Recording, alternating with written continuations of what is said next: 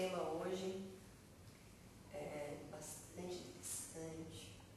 Por favor, não durmam. É, nós vamos falar um pouquinho sobre a questão da legislação que envolve a profissão de professor de yoga. Alguns anos atrás, eu participei da fundação do que na época foi chamado de Sindicato Nacional de Yoga.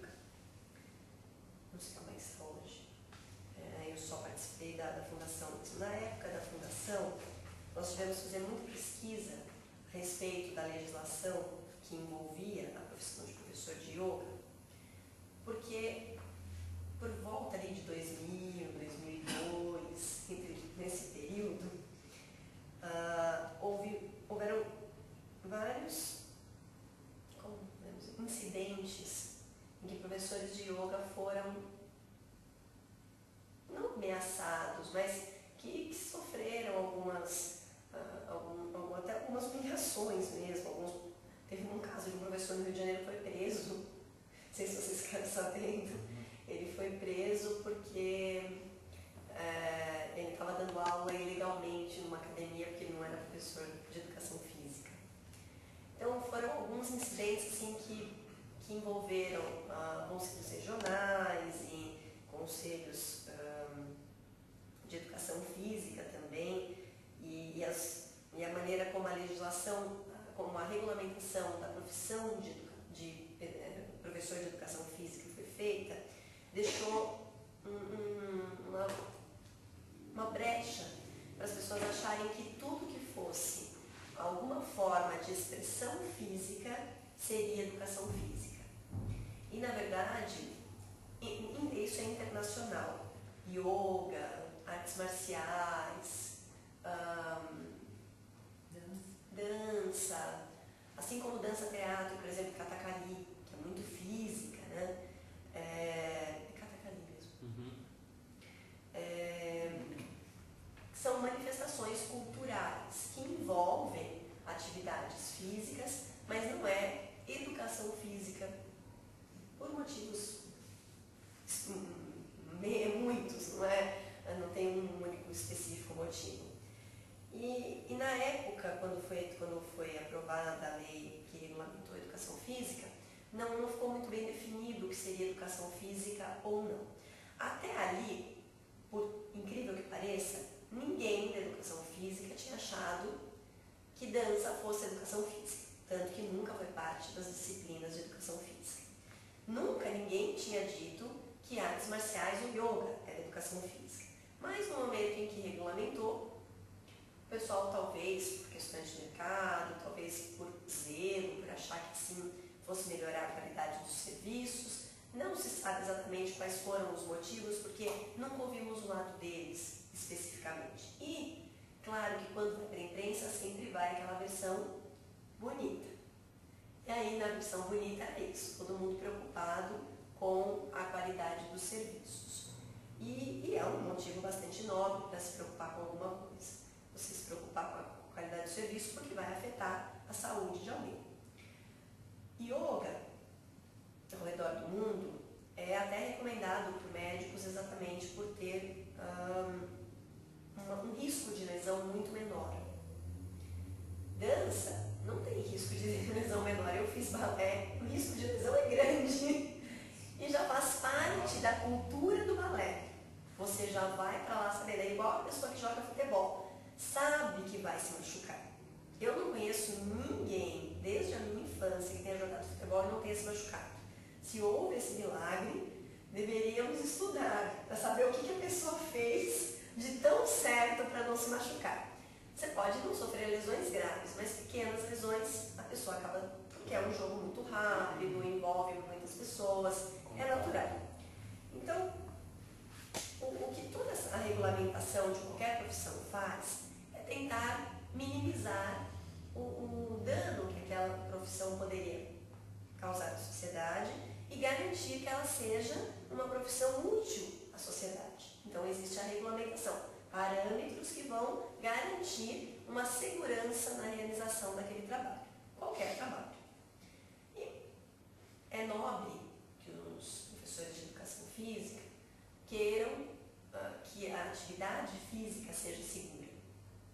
E eu acho que se tivesse sido feito o trabalho dos conselhos, tivesse sido feito somente com essa intenção, e, ou se foi feito a abordagem, não procurando unir todo mundo e falar, vamos pensar na, na segurança, todos juntos.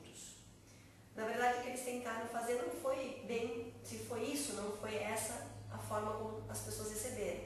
Porque o que eles fizeram foi, quem não é professor de educação física não é seguro. Então, só quem é professor de educação física, porque passou por uma universidade, pode dar aula de, de, qualquer coisa física. E saíram, em São Paulo foi mais delicado, mas no Rio de Janeiro pegaram bem pesado, foram realmente atrás das pessoas, algumas pessoas foram para cadeia, pessoas que davam aula de yoga há 20 anos foram para a cadeia porque não eram professores de educação física. A Constituição Federal garante que você possa exercer a sua profissão. E se a sua profissão, você já exercia a profissão antes dela ser regulamentada, no máximo você teria que passar por uma atualização, sem precisar parar a sua atividade, que é o que garante o seu sustento. E a partir daí, você teria que, se você não fizesse a atualização, aí sim você sofreria. Só que não regulamentaram a profissão de yoga, ou de professor de dança, ou artes marciais, ou qualquer coisa assim. Regulamentaram a atividade de educação física. A educação física existe muito menos tempo do que yoga, dança, uh, dança teatro, uh, artes marciais. Então, ficou realmente um, um, um confronto entre o pessoal da educação física do Conselho Regional, não necessariamente os professores de educação física, porque muitos acharam até absurdo o que foi feito. E, para falar a verdade, todos os que eu tive contato acharam absurdo.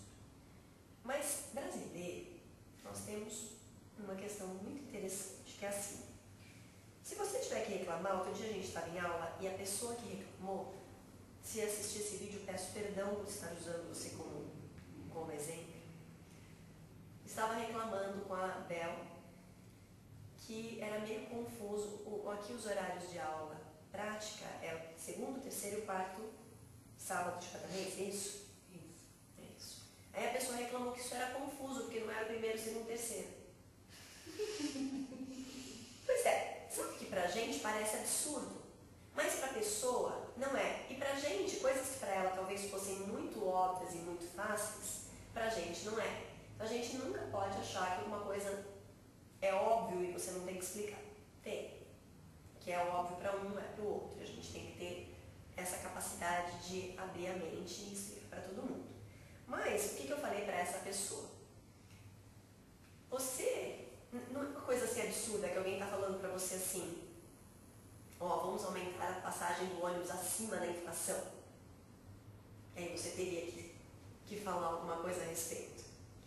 É uma coisa simples. Em vez de decorar primeiro, segundo, terceiro, você lembra que é segundo, terceiro e quarto. Ou se você prefere o método de negação, lembre que não tem o primeiro. Que aí você só precisa lembrar uma coisa. E os outros têm.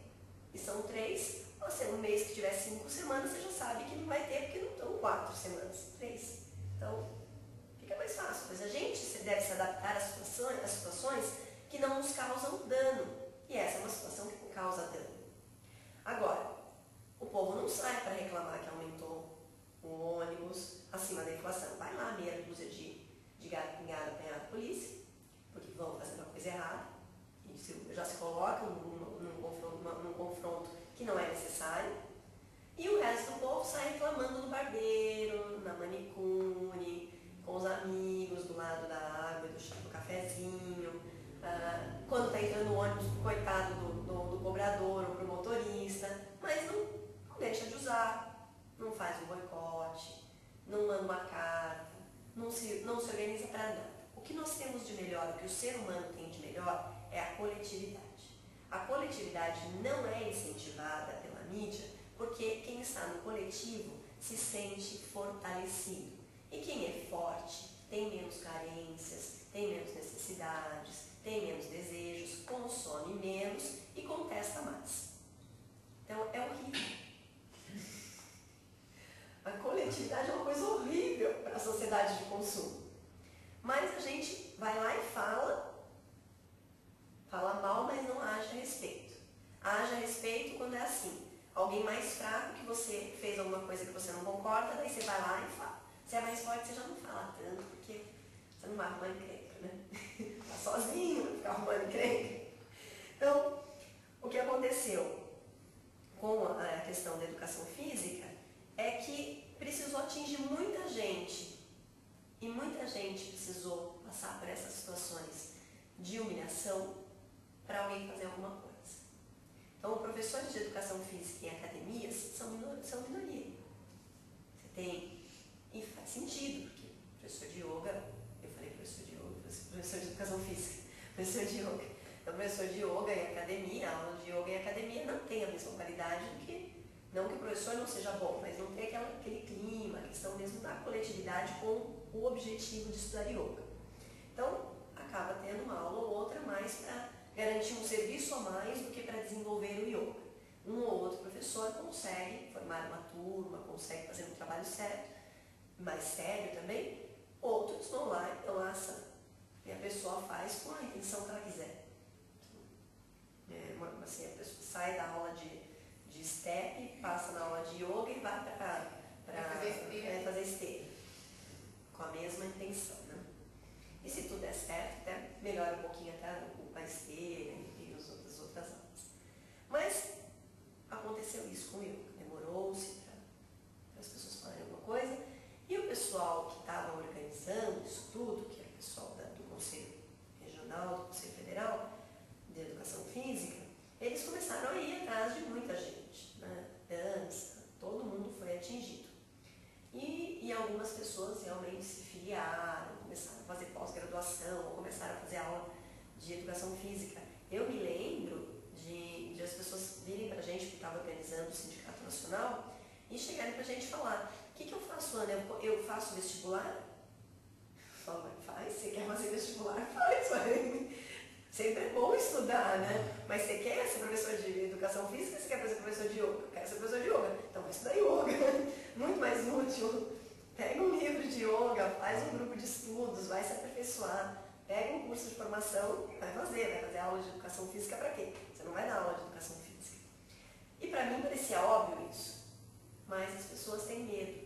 Elas têm continuar exercendo a profissão que elas amam, a profissão que garante o sustento delas e que garantiu durante muito tempo. Então, a ideia de fazer essa aula é explicar para vocês, como professor de yoga, qual é o papel do professor de yoga na sociedade dentro das leis, dentro da Constituição, até que saia uma regulamentação, se sair. Existe todo um movimento para que não se regulamente mais as profissões. Porque essas regulamentações causam muitos problemas, inclusive para as profissões. Então, hoje em dia se estimula, espero que ainda seja assim, há pouco tempo ainda era, se estimula a autorregulamentação, que os próprios profissionais se unam e vejam o que é necessário para garantir a qualidade da, da, da, do prestar, da prestação do serviço e então que isso seja feito. Entre uma referência, exatamente. Não necessariamente uma fiscalização, mas uma regra até para que as pessoas que, que vão lá e contratam o serviço também possam se saber se estão recebendo uma boa, uma boa prestação de serviço. Entre professores de yoga que pregam a união, isso deve ser fácil, né? Deveria. De, deixo aqui registrado que deveria. Bom, então, como é que o professor de yoga funciona no mercado de trabalho? Como qualquer outro profissional. Você pode ser um trabalhador registrado e o trabalhador registrado normalmente responde às regras do, da consolidação das leis, leis do trabalho e no material é, escrito, vocês vão. Tem aqui um site que, que é do TRT, que tem toda a, a legislação. Então vocês podem dar uma olhadinha no. É bom, mesmo que você não, não, não, não, seja registrado, nunca é demais ter um pouquinho de conhecimento sobre ah, as leis de trabalho no país seja porque um dia talvez você queira abrir a sua escola e vai querer escolher qual a forma de trazer os professores, ou seja porque você é professor em algum lugar e quer saber qual é o seu relacionamento com a pessoa jurídica ou com as pessoas que contratam o seu trabalho. Então, o CLT é aquela, aquela regra básica. O que, que, um, que difere, por exemplo, um, um seletista de um autônomo? Que é uma outra forma que as empresas, é, que as pessoas jurídicas contratam. Né? O autônomo, ele é uma empresa em si. Então, você não tem, você pode ter, mas você não tem necessariamente os mesmos benefícios do trabalhador contratado. Então, se a empresa oferece benefício de seguro, seguro de saúde, ah, é, é, recolher fundo de garantia, INSS, que isso é garantido pela, pela CLT, não o seguro e o seguro de saúde, mas muitas empresas oferecem, não necessariamente o autônomo ao ser contratado vai receber essas, essas, esses benefícios que a empresa oferece para os seus contratados. Mas pode, porque tudo depende do contrato. Então, o autônomo ele tem que colocar num contrato tudo que vai reger o relacionamento dele com a empresa jurídica, com a, a pessoa jurídica. Então, basicamente é assim, a CLT vai proteger o, o trabalhador que tem a carteira assinada. Daí vem lá a carteira de trabalho e tudo mais. Existem tanto, é, provavelmente mais obrigações, porque já fica definido. Então tem um mínimo de horas para trabalhar, não é um máximo, tem um mínimo. Você tem o, o trabalho, o, o, quem está contratando pode exigir um mínimo de horas. Ele pode falar também que você vai trabalhar duas horas por dia, mas ele pode exigir um mínimo de horas. Já no, no trabalhador autônomo, o autônomo vai dizer o número de horas que ele quer, que ele quer trabalhar. Aí, o, quem está contratando vai dizer, eu preciso de tantas horas, você pode me oferecer quantas, aí você vai. É uma negociação. E aí é você que vai ditar as regras, porque você que está indo oferecer o serviço. É assim, claro que tem a questão do ah, eu preciso trabalhar, ele vai me contratar, e no fim, algumas pessoas acabam perdendo com isso. Mas, na verdade, é um, uma forma de você ter mais flexibilidade. E professor de yoga dificilmente vai trabalhar oito horas em algum lugar. É muito difícil isso acontecer. Mesmo em academias, professores de educação física que trabalham oito horas seguidas são aqueles que ficam lá fazendo monitoria do pessoal que fica nas esteiras, na musculação, não, dificilmente um professor de educação física vai dar aula oito horas seguidas. Então, né, nessa atividade é mais fácil você conseguir blocos de horas. Né? Você vai trabalhar numa empresa, você vai dar aula de yoga laboral, por exemplo, eles vão contratar o seu serviço, você vai dar aula por um número X de horas para que as pessoas todas possam vir. Pode chegar a 8 horas? Pode, se for uma empresa muito grande, você for dar aula para todo mundo, pode chegar a 8 horas, mas o mais normal é você trabalhar uma, duas horas para cada empresa. É o mais comum. Ou então você pode ir lá prestar um serviço de ficar à disposição numa academia, para as pessoas que vierem treinar. Então, tudo depende do tipo de trabalho que você vai prestar e o tipo de relacionamento que você vai ter com a empresa. Algumas empresas preferem, mesmo que você for trabalhar só duas horas, preferem contratar com carteira assinada e oferecer todos os benefícios para não ter problemas com a legislação do trabalho. Outras preferem o trabalho autônomo porque livra a empresa de uma série de, de impostos que são onerosos para a empresa. Então tem esses dois lados. Por um lado, a empresa pode contratar com maior flexibilidade, você também pode até pedir uma remuneração um pouco maior por não ter tantos impostos ah, para a empresa, você vai ter que pagar os impostos da empresa. Então, até é justo que você faça isso. Por outro lado, tem a questão da segurança, férias, décimo terceiro. Então, você tem que perceber que tipo de trabalhador você é. Você é aquele trabalhador que sabe ser um autônomo, então você sabe que você não pode gastar nada além do que você ganha, sabe que você não pode gastar antes de receber, sabe que você tem que planejar poder ter férias, sabe? Que você tem que ter. Então, se você é desse tipo de pessoas que planejam, que vai fazer a sua própria previdência, que vai fazer o seu próprio plano de saúde, e outro já é. Se a gente fala, já é plano de saúde. Eu tenho um plano de saúde bárbaro, pago uma vez por ano e depois pago quando eu uso. E para mim funciona, porque eu vou no médico mais ou menos uma vez por ano, por obrigação, assim, né? Porque disseram que tem que ir, então eu vou, não tem problema.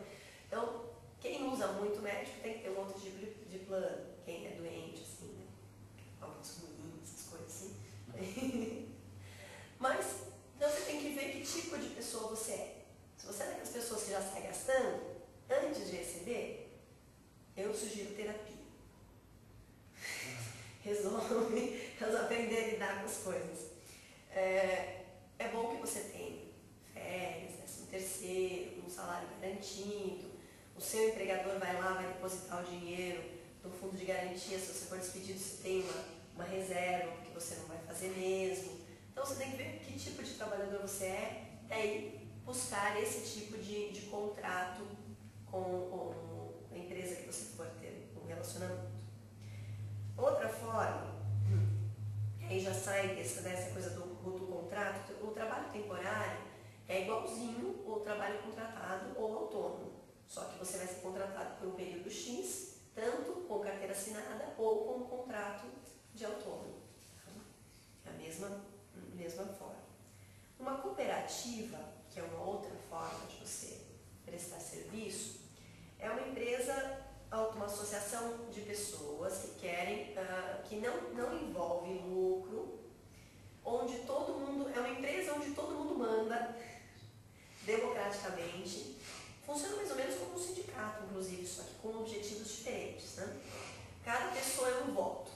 Não é como, por exemplo, numa, numa SA ou numa limitada, que é uma micro ou pequena empresa, ou uma média empresa, uma grande empresa, o que vale é o capital. Então, se você é dono de metade do capital, você é dono de metade dos votos. Numa cooperativa, não. Cada pessoa é um voto. Então, é bem democrático todo mundo participa de todas as decisões e procura o que é melhor para aquele, aquele grupo de pessoas poderem prestar o serviço com custos diminuídos e com ajuda, né, com a coletividade. Essa é a ideia da cooperativa. É uma ideia muito boa, uma ideia fantástica, e é uma ideia muito próxima da associação. No Brasil, nós temos essa facilidade da associação sem fins lucrativos, que no caso de, de, de uh, um, uma empresa que vai divulgar uma, uma, atividade cultural ou uma atividade de desporto ou uma, uma atividade que envolve um, um bem, um, um bem que você está fazendo à sociedade. Você tem uma série de benefícios. Aqui, nesse trabalho escrito, você vai achar uma série de links, porque a internet acaba facilitando muita coisa. Se eu fosse trazer todas essas legislações para vocês, seria um livro.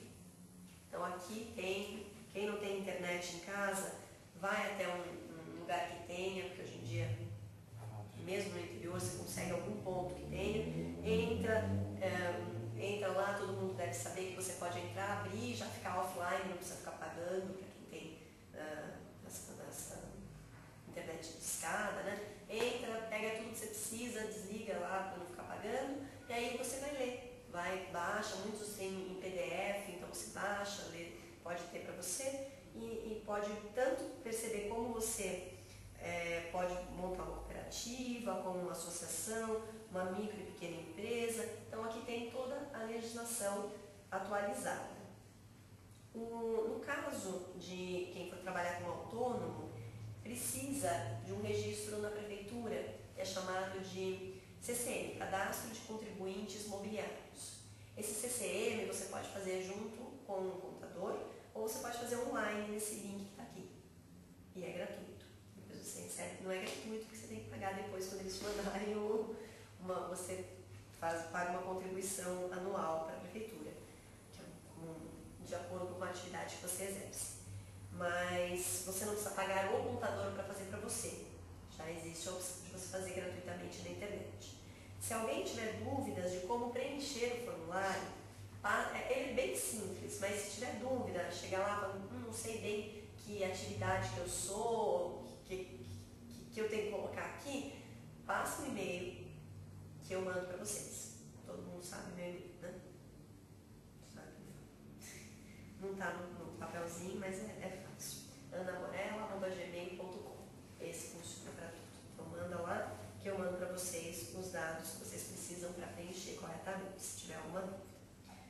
O endereço de vocês eu não sei, mas vocês peguem uma conta de luz, lá tem endereços, colocam lá. Eu falei dar todos os dados, né? O endereço de vocês, vocês podem colocar nome completo, data de nascimento, tem na certidão de nascimento, no RG. Então, aqui tem todas as informações que vocês precisam para começar essa vida de trabalhador na área de yoga. Espero que vocês só comecem o dia que realmente souberem da aula de yoga e puderem fazer um trabalho que seja, que realmente contribua para a sociedade. Só para eu concluir a respeito da associação aqui, uma associação sem fins lucrativos é, é fácil de você abrir. Ah, eu tenho também, quem quiser ajuda, eu ajudo. É, só que ela tem uma questão, né? tem gente que abre só para se livrar de uma série de impostos. E aí é sacanagem, porque isso é uma, é uma, é uma forma de roubo, de uma certa é falta de asteio.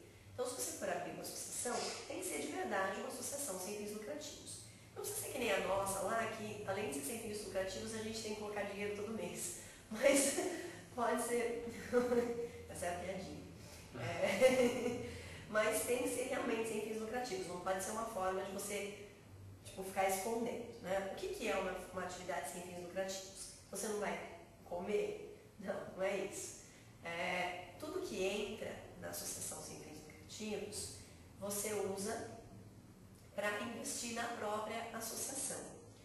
O, os professores que dão aula na associação, eles precisam ser contratados pela associação aí podem ser contratados como autônomos ou como CLT, é a associação que escolhe, ou a, os professores alugam um espaço na associação, e aí também um relacionamento diferenciado que você tem que ter um contrato de cessão de espaço para um autônomo, para uma é, uma pessoa jurídica. Então, a associação em si, o professor vai lá dar aula para poder ganhar que ele vai precisar para se sustentar. Mas, ao mesmo tempo, esse professor que é parte da associação, ele vai prestar um serviço para a associação, seja limpando o jardim, ficando na recepção, cuidando das contas, do banco, da tesouraria. Algum serviço ele vai prestar à associação e vai ajudar na manutenção daquela associação. Essa é a ideia de uma associação de pessoas com o fim de prestar um, um serviço de informar a sociedade sobre um, é, uma atividade cultural específica, no nosso caso, o yoga. Tá? Aqui tem os aspectos que são comuns às associações e para quem prefere abrir uma, uma, não uma associação, que é muito específico e tem toda uma, uma legislação também que, que, que, que tem algumas limitações, você não pode fazer não é a mesma coisa que ter uma academia, por exemplo. Né? Uh, você pode abrir uma micro ou pequena empresa. E aí também você tem aqui o link para explicando aqui um, um, gráfico explicando o que é uma micro, pequena ou média empresa. Você sabe onde você vai se encaixar. E a legislação que rege esse relacionamento. Basicamente isso. É simples, indolor. Aqui tem toda a é necessário que, que você se enquadre na sociedade de alguma forma, a gente não tem que ficar fora da sociedade, ao contrário, a gente tem que contribuir. E mais do que contribuir, aí a gente fica achando que é injusto, a gente tem que participar da sociedade. Então, às vezes a gente fala assim, ah, pago muito imposto, não tenho nada em troca. Não tem porque não merece. Não merece porque não participa. Essa é a ideia. Numa sociedade, se você participa ativamente, existem muitas formas de participar ativamente, seja educando, seja participando de uma forma pacífica, no caso do yoga, de manifestação de que aquilo é incorreto, que você não, não gostaria. Mas dentro do espírito de yoga, gente, você não pode, primeiro, a gente não pode ficar reclamando da vida, porque é falta de santucha. Segundo, se você não fez nada para mudar aquilo, você não pode reclamar. Não pode. para que aquilo fosse melhor. Então aceite. A gente não pode mudar o mundo inteiro, a gente não pode escolher todas as causas, mas a gente pode contribuir para muitas delas. E terceiro, a, a maneira como nós vivemos vai será marcante na sociedade. E essa marca, ela fica para a evolução de toda a espécie. Então, muitas vezes você vai fazer uma, uma ação que não vai te beneficiar, mas na próxima geração vai beneficiar a próxima geração. E é um gesto de generosidade que seria muito bom que alguém tivesse feito por nós 20, 30 anos atrás. Então, a gente não pode ficar reclamando que não fizeram. A gente tem que agir hoje, no futuro, muitos fizeram, claro. Não, claro, muitos fizeram, obviamente. Muitas coisas já foram feitas, né? Mas a gente não pode parar de evoluir. A gente tem que continuar evoluindo e não é reclamando de político, sem, e, e, sem fazer alguma coisa de concreta para que aquilo mude, que a gente vai mudar o mundo. Então, o mundo é exatamente aquilo que a gente fez dele. Nada mais, nada menos. Uma pessoa pode fazer a diferença, sim. Só que você tem que saber a forma. E uma forma é estudando a cidadania, entendendo a sociedade para poder agir sobre ela de forma pacífica. Estudo grande também, junto, que é para não ir para o lado errado. Qual era a pergunta? Ai, agora eu esqueci. Oh, perdão. Não, é, é que é agora que você estava falando do. que você passou seu e-mail, você estava falando de preencher um, um formulário. O CCM, Era para alguma coisa e eu não peguei o que, que era. autônomo. Quem é autônomo precisa de um registro na prefeitura. Ah, Esse registro, quando você for prestar um serviço para uma empresa, você vai precisar fazer um RPA, que é o, o Ah, sim. recibo de autônomo, né? Então, quando você faz esse recibo, você que dá o recibo, porque é você que está prestando, não é? Você não vai receber um olerite, não é a empresa que está pagando para você. Na verdade, a empresa está pagando, mas você que dá o recibo, né? E quando você fizer isso, para fazer o recibo, você precisa dessa, desse registro. E antigamente, você só conseguia, qualquer pessoa podia fazer o registro, mas era tão complicado. Vocês já leram um- uma revistinha do Asterix, que eles estão entre os romanos? Que aí o Asterix e o Obelix vão, vão num guichê, que é uma burocracia, né? Vão no guichê e perguntam como que eu fui saber de uma pessoa? Ah, vai no guichê de informações. Aí no guichê de informações eles não, mas primeiro você tem que preencher o formulário no guichê de pessoas. Aí eles vão lá no guichê de não é bem assim, mas vocês estão entendendo, né? Aí vai lá no guichê de pessoas, mas aí não, você tem que ir no informações, mas eu vim das informações. Ah, mas você tem que ir lá. Aí você volta, eles voltam lá. Eu queria saber, não, mas você tem que ir no centro, mas eu já fui lá. Então é porque você tinha que pegar um, outro formulário, não sei onde. Então ele cada um te manda para 15 lugares diferentes, você nunca sabe. E era assim antigamente. Você passava por 30 departamentos diferentes e ninguém te dizia exatamente onde você tinha que fazer o tal CCM. Por sorte, a internet mudou isso. A não ser que você preencha todo o formulário, envie e apareça que o seu formulário não foi enviado, preencha novamente, tá certo, você recebe o, o- a resposta e recebe em casa o seu registro pelo correio. Então é bem tranquilo. tá? Então facilitou bastante. Antigamente você tinha que pagar um contador porque o contador sabia onde tinha que ir. E óbvio que é o trabalho dele, ele não ia ficar falando, não, não, você só vai lá no guichê cinza e eles vão te fazer o trabalho dele. Fala, não, se me dá o dinheiro, eu vou lá, faço pra você e volto. E hoje em dia, pobres dos contadores, coitadinho. Mas você continua precisando de contador, não se preocupe. Então, eh, você pode fazer, é uma facilidade. Muita gente não fazia pela burocracia ou até por não ter dinheiro para ficar pagando eh, essas prestações de serviço. Ah, Uma curiosidade, eu não sei hoje como tá, porque eu encerrei o meu. Eu tive CCM muito tempo de fotógrafa e. Mas de yoga é diferente.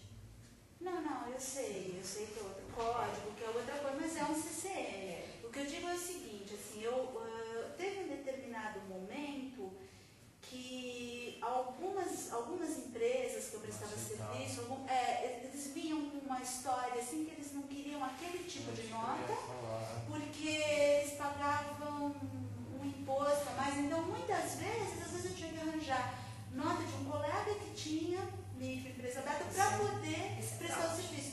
Eu não sei hoje como está supermercado. Porque eu, todas as vezes. Mas foi uma coisa. Sabe o que é, gente? Também é tem muito da nossa própria é. atitude. É, é uma tristeza a gente fazer as coisas precisando do dinheiro. Porque aí você tem que, você tem que aceitar atitudes antiéticas como essa, que geram uma série de problemas é, para poder trabalhar. Por isso que eu digo que o autônomo, para manter a integridade, ele tem que ser aquela pessoa estoica. Tem que viver simples. Uma pessoa de yoga tem que ser. Né? Pra gente viver. A, questão nesse país não é mais fácil, não é só viver Não, simples. vocês viver. Não, não é, não é tão difícil assim. É, não é, não é difícil. É assim. É, todas as vezes que eu prestei, a Associação de Yoga prestou serviço para uma empresa, eles perguntaram, muitas vezes me perguntaram, por exemplo, ah, mas você não tem uh, tal, você não pode fazer um recibo assim? Não, meu recibo é assim.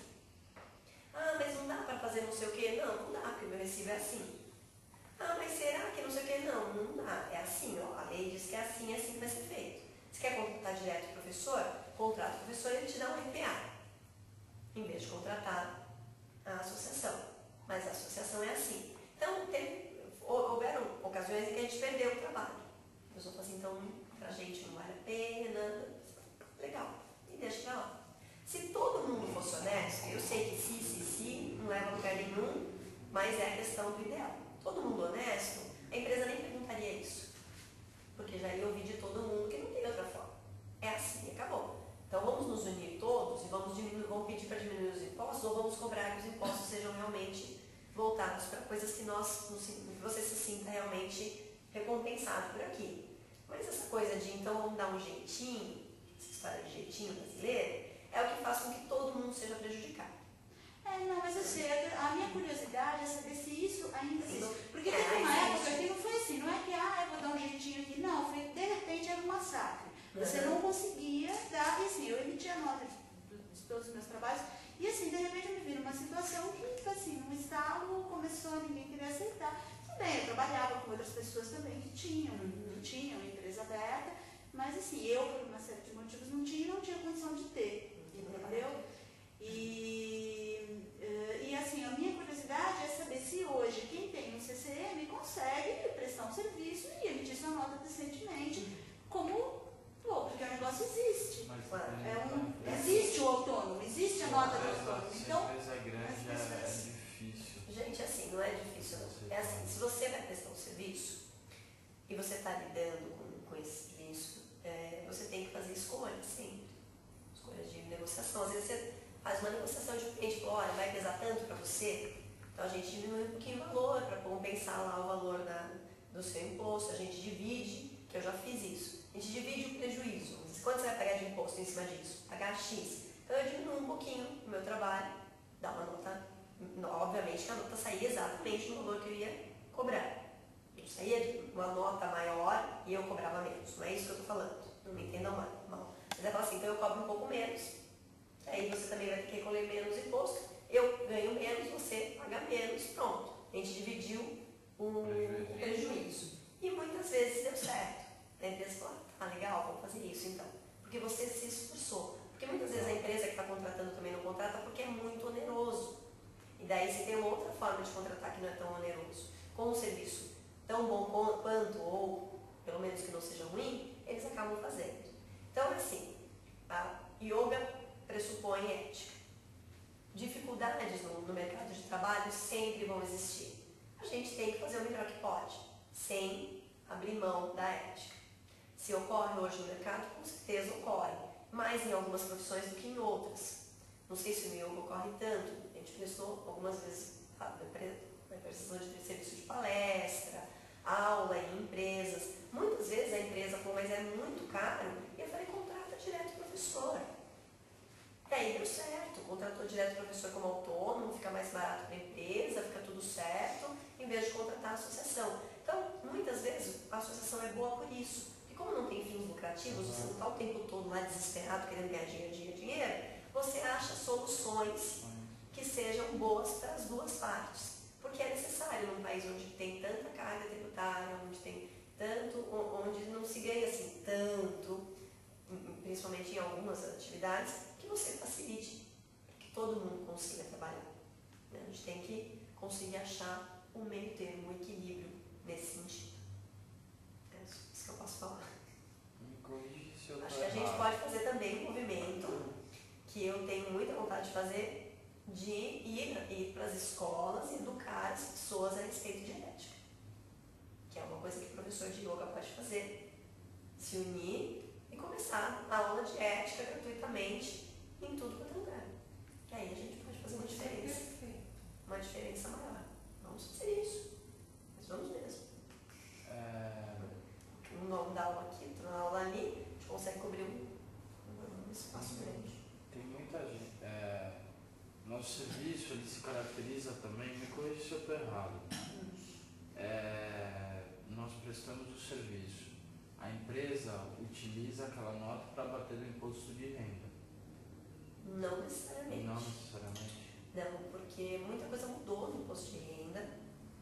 E, por exemplo, ah, antes dessa mudança, uns dois, três anos atrás, todo mundo conseguia bater aula de yoga, aula de yoga normal, Aham. sim, Do, do imposto de renda. Entrava na parte de saúde. De saúde. Depois dessas mudanças, o meu contador me disse que já você não pode, depende, por exemplo, se você tiver uma recomendação médica para fazer yoga, você conseguir comprovar que você faz por questões de saúde, você pode até conseguir abater, mas não necessariamente. Tem muita gente que abate porque não tem medo de cair na malha fina, mas não é que você vai necessariamente poder bater. Então é é uma coisa muito específica, tem que conversar com o contador para ver se no seu caso pode ou não pode. Eu sei que, por exemplo, numa associação sem fins lucrativos, se você recebe uma doação, dependendo de se essa doação for porque você está fazendo uma campanha, por exemplo, para animais de rua, para recolher animais de rua, para castrar animais de rua, porque tem a ver com a RIMS, né, de você diminuir a crueldade, de educar as pessoas, ou de um, um- um projeto, para um projeto como o de sair ensinando ética para as pessoas gratuitamente, um, um- um- um projeto que seja um bem para a sociedade, ele pode aba- abater uma parcela dessa, dessa doação do imposto de renda. Mas é- são coisas muito específicas que tem que conversar com o contador. Entendi. É, e com o registro de CCM, com o recibo de CCM, se for o caso, isso consegue ser abatido? Então, nota aí, como eu falei, é, não, não, o, o recibo do autônomo, Ele é ele serve como uma nota, ele não é uma nota fiscal, mas é, é o equivalente do autônomo, digamos assim, a não ser que você precise ser uma, uma coisa específica que precise mesmo. Que, por exemplo, se você vai vender um produto, aí precisa de nota fiscal, mas um serviço já não precisa.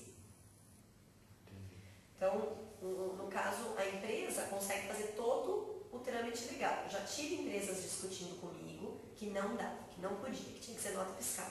Aí eu pedia para falar com o setor financeiro ou a parte de contador, explicava a legislação para a pessoa que entendia, daí a pessoa ficava tranquila, voltava para a pessoa que estava negociando comigo e falava, não, tá certo, tá tudo bem, pode fazer. E aí você vai educando a empresa, porque muitas vezes a pessoa não quer fazer porque ela acha que é ilegal.